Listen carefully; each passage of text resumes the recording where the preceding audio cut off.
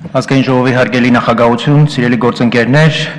հիշենք թե ինչ օր է այսօր։ Ուղիղ 1 տարի առաջ դեկտեմբերի 9-ին տեղի ունեցան խորհրդարանական ընտրություններ, հիշենք նաև թե այդ ընտրություններն ինչի մասին էին եւ ինչի համար էին եւ թե որքանով է իշխանությունը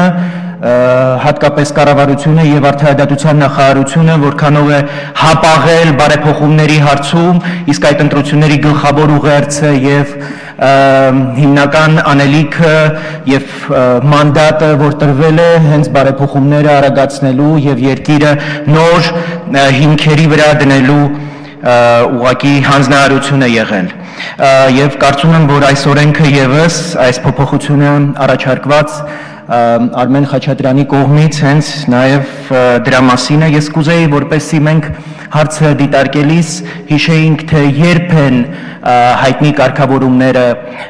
բերվել. 2007 թվականի հոկտեմբեր ամսին, երբ Լևոն Տեր-Պետրոսյանը ընդամենը 1 ամիս առաջ հայտարարել էր նախագահի տեխնացու առաջադրվելու մասին եւ Սերժ Սարգսյանը, որ արդեն համալրել էր հանրապետական կուսակցությունը իր քրեական ընկերներով, օլիգարխներով, անհրաժեշտ էր համարել, որպեսզի ամբողջ տեղեկությունները հավաքեր իր ուրեմն բռում ազգային անվտանգության ծառայությունում եւ դրանով փաստորեն